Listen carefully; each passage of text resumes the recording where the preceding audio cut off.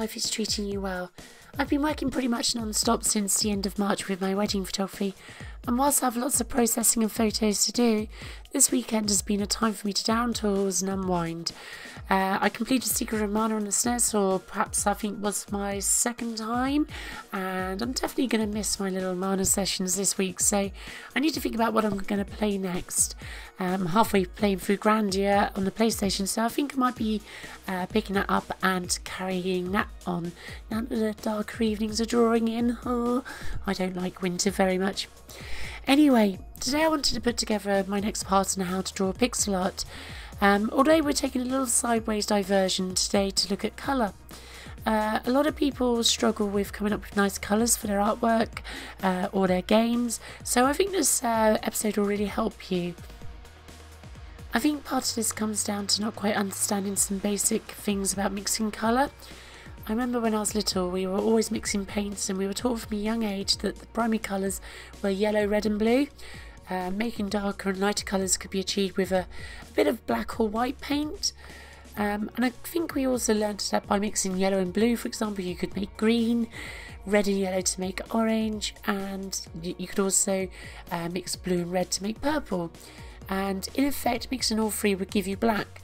Uh, but I remember feeling very confused the first time that I tried changing the colours in Deluxe Paint when we first got hold of uh, an Amiga because there was no yellow uh, in the colour mixer, uh, there was green instead.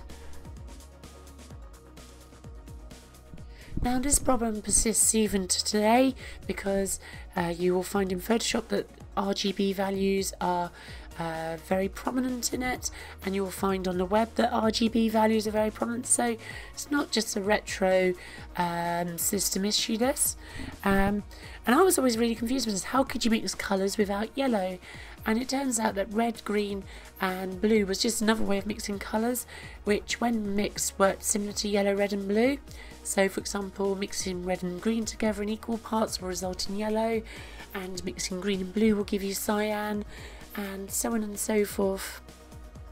The problem is that mixing RGB is not the most intuitive of things.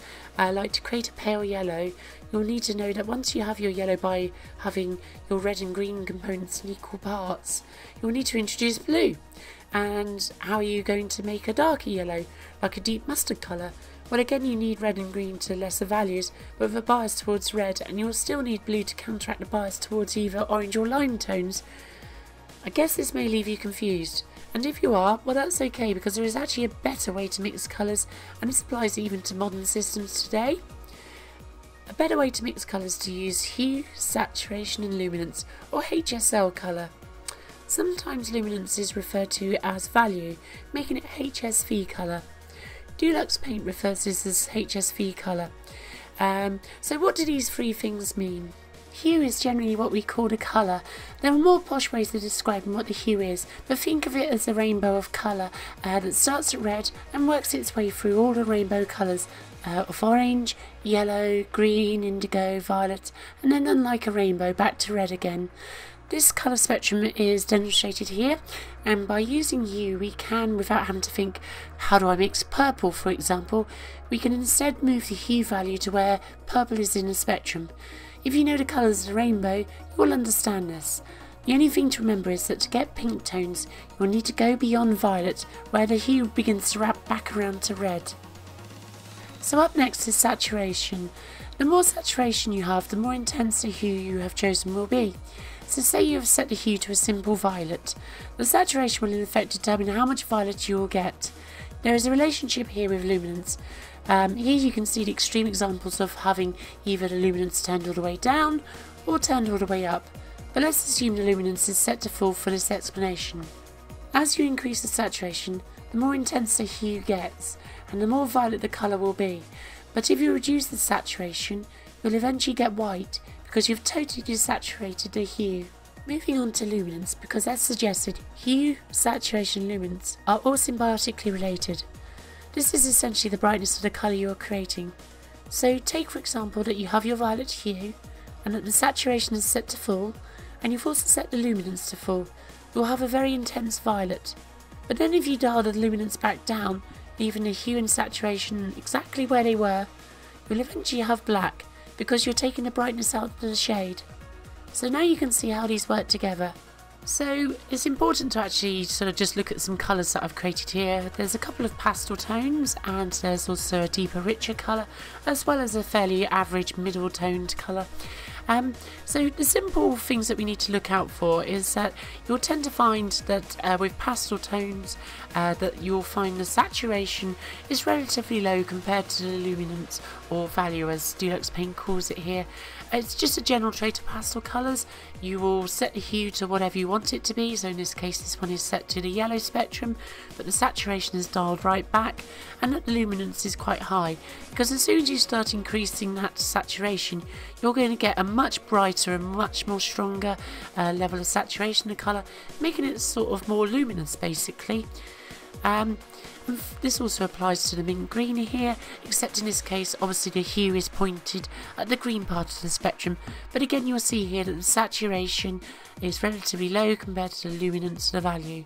And just to show you what happens when we drag down the value, you'll essentially um, remove sort of uh, the brightness or the lightness of the, the shade and you'll get sort of darker toned images. And again this ends up with uh, colours that look desaturated and end up slightly towards the grayer end of the uh, colour um, level as it were. So you can see sort of there's more of a greyish tone now coming out here. So I'm just going to undo that. And for deeper colours you will tend to find that the saturation is relatively high compared to the luminance or the value. Um, it doesn't really matter again what the hue is set to because that is just going to decide which part of the colour spectrum your colour is going to be in. And for a fairly middle toned uh, colour, Again, set your hue to whatever your colour that you want it to be. So in this case, I set it to the blue spectrum, but you'll find that the saturation and the luminance of the value is roughly sort of in the middle somewhere. Not exactly the same values, but uh, they're just middling values. They're not sort of uh, biased in one way or another, so that you don't tend to find that the saturation is relatively high compared to the luminance of the value, or indeed vice versa. So the most important thing about greys is just remember to always dial your saturation back to its lowest value and that your luminance or your value is going to determine just how light or dark that grey is. So as you can see, just increasing the luminance will make it lighter and reducing the luminance makes it darker. And of course obviously at the very bottom it ends up black at the very top it ends up white. So that's how to create grayscales so hopefully these little tips will show you how to uh, visualize uh, the tones that you may have in your head or maybe that you've sketched out of how you're going to create those digitally in the color palette. And that really is the power of hue saturation and luminance. It just makes it so much easier than trying to faff about with the RGB values because by itself it's not so easy to say well I know that I want quite a bit of green and I'm going to need quite a bit of blue to make a mint green. And so I probably don't need much red. But then actually what you'll find is that you do need red uh, in the mint tones because that is actually what is going to um, reduce the intensity of the green and blue. But it's not the most natural of um, thoughts basically um, because a lot of people would think well I don't want red in this colour because I'm creating a green and yeah, that kind of makes sense actually if you look at it like that. But the reality is that when you're creating pastel tones, yes, you do actually need quite a bit of the colour component that you're not really looking to have in your colour, um, or so you may think. To finish off this episode, I'm just going to do a pixel art speed draw of a little sprite character that is going to be based off our foundation sprite that we created a couple of episodes ago, and it's going to be Asuka Langley Soryu out of Neon Genesis Evangelion, one of my favourite animes of all time. This is just going to be a 16 pixel wide little sprite character and throughout this little speed draw you will see me adjusting the hue, saturation and luminance values of the palette as I create as it goes along. You'll remember this from the previous episode where I said that I build palettes up as I go along and that's exactly what I'm going to do for this little character. Underneath it says from the planet Earth, first set foot upon the moon. July 1969. It came in peace for all mankind.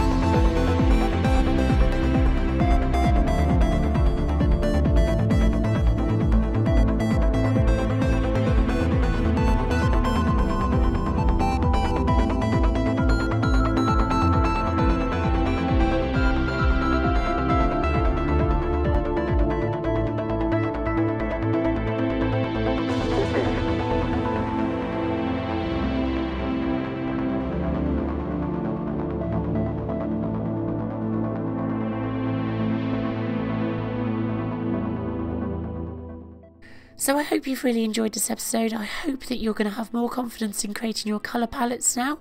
And I guess that all remains for me to say is, see you soon. Bye! It is. For all mankind.